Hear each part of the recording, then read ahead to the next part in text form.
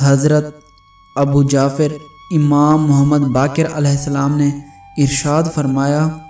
तीन सौ तेरह असहाब इमाम कायम अलैहिस्सलाम औलाद अजम होंगे, जिनमें से बाद दिन के वक्त बादलों पर सवार होकर आएँगे, जिनके नाम, उनके अबा के नाम, उनके नस्ब और उनके हुलिये सब मालूम हैं और बाद अपने बिस्तरों पर सोए हुए होंगे